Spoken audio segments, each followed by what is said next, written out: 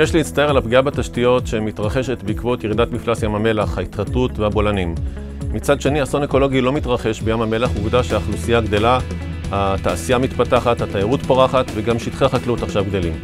אנחנו בקורס שלנו, מחנה לימוד ים המלח באוניברסיטה העברית, מנסים להבין את התהליכים על ידי סיור בשטח, ואנחנו רוצים להראות איך אפשר ליצור הרמוניה בין התעשייה והתיירות לבין שמירת הטבע.